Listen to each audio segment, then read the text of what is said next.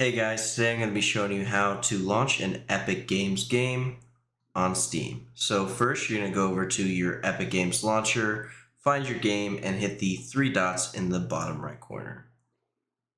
You're going to go on over to Manage, and then create a desktop shortcut. Right click the shortcut, go to Properties, and copy the URL you can now head on over to Steam, hit add a game, and add a non-Steam game. Select browse. Now you need to find your Epic Games install folder.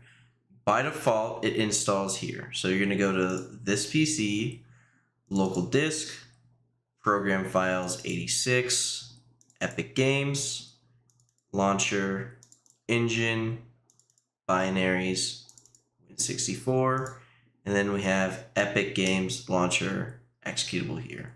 You're going to open that and hit Add Selected Programs. Now find what you just added in your Steam library. Right click, hit Properties.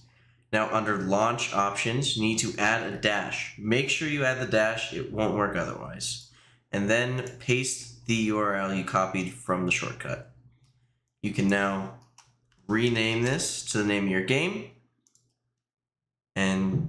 you can now launch the game. I'll delete the shortcut just to show you don't need it anymore. And go ahead and hit play.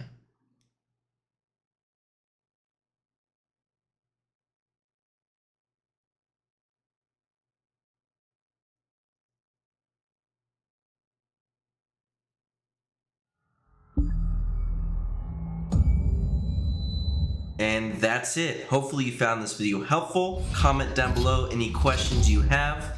I will include a path to the Epic Games install folder down below in the description.